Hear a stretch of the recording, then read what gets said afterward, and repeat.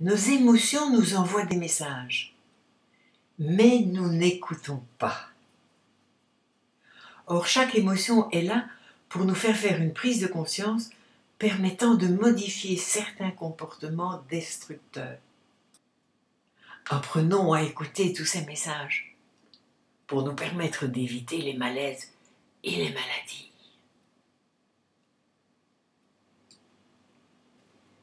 Si vous éprouvez de la joie, cela veut dire que vous passez du bon temps et que fondamentalement, ce pourquoi vous vivez est satisfait. En termes plus simples, une de vos principales valeurs est satisfaite. Donc la joie est une émotion sur laquelle vous pourriez avoir plus de contrôle. Pensez-y. Exemple, j'ai besoin d'avoir de la reconnaissance, c'est très important dans ma vie, ça je le sais. Et là, je suis en train de vivre un moment qui m'apporte la reconnaissance tant attendue d'un ami ou d'un membre de la famille, ce qui me procure de la joie. Alors pourquoi ne pas multiplier l'occasion d'avoir cette reconnaissance? Ce peut être aussi le fait de voir mon nom dans une revue spécialisée. Ok pour la joie. Donc, multiplions les expériences qui satisfont ces critères importants pour nous, afin d'être le plus souvent possible dans la joie. Si vous éprouvez de la peur, cela veut dire que votre inconscient a reçu des signaux vous prévenant d'un danger physique ou moral. Ces signaux peuvent être visuels, auditifs ou kinesthésiques. Et votre inconscient vous invite à réfléchir sur la situation et à prendre des mesures qui s'imposent si nécessaire. Sachez que quand il y a un doute, c'est qu'il y a un doute. Alors évitez les risques.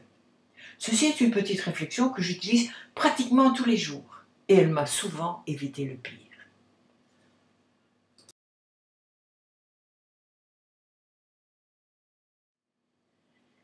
Si la tristesse vous tombe dessus comme une chape de plomb, oh là là, eh bien elle veut dire que votre inconscient vous invite à faire un bilan de satisfaction pour définir s'il vous manque ou non quelque chose pour être heureux. C'est tout simplement ça. Et si c'est le cas, apprenez à faire une demande adéquate à qui de droit? Et cela avec la plus grande simplicité. Dites-vous bien qu'un moment de honte vite passé. Si la colère vous envahit subitement, elle vous raconte qu'une valeur importante, voire même la plus importante, vient d'être violée.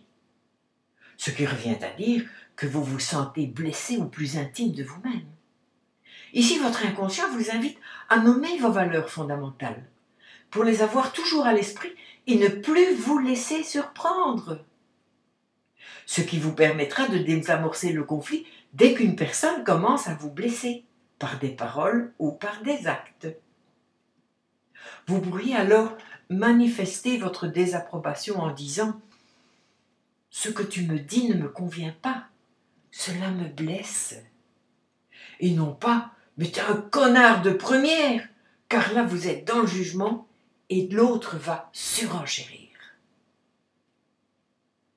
Vous vous sentez débordé, envahi. Ça veut dire que votre inconscient vous invite à faire respecter vos limites. Si vous n'affirmez pas les limites de votre territoire psychologique, les autres n'auront pas l'idée de s'abstenir de vous envahir, puisqu'il n'y a ni sens interdit, ni propriété privée, ni interdiction de se parquer. Alors il va falloir réorganiser votre vie, définir l'important de l'accessoire, avoir plus de structure. Et vous ne serez pas moins aimé ni moins respecté pour autant. Vous pourriez même être admiré pour votre affirmation de vous-même.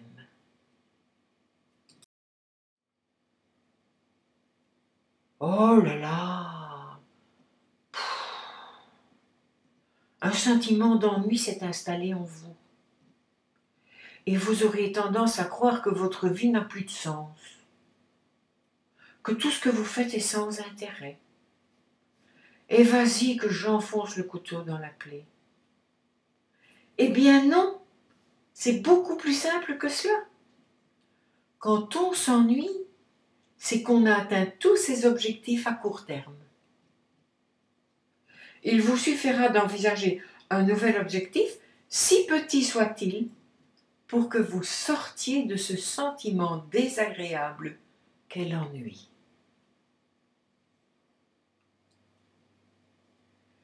Si la culpabilité est présente à l'intérieur de vous,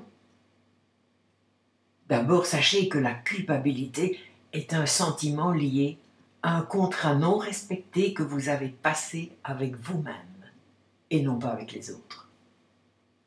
Lorsqu'il y a culpabilité, c'est vous-même qui portez un jugement négatif sur vous. Cela veut dire que vous avez violé vos propres critères, ou éventuellement les critères d'une personne qui vous sert de modèle ou de référence. Alors vous passez un nouveau contrat avec vous-même en vous promettant que si la situation se reproduit, eh bien cela n'arrivera plus. Et le sentiment de culpabilité va quitter votre poitrine.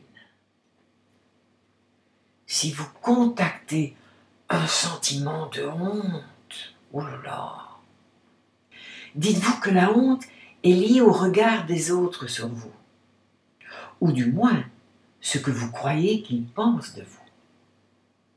Alors un sentiment d'infériorité s'installe.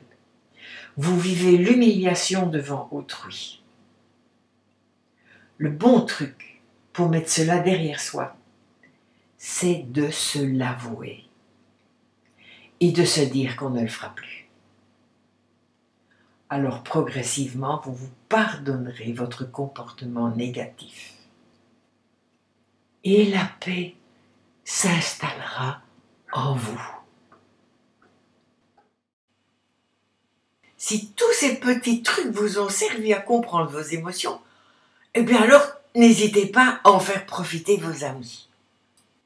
Et invitez-les à compléter leur découverte en visitant mon site partage de réussite.com.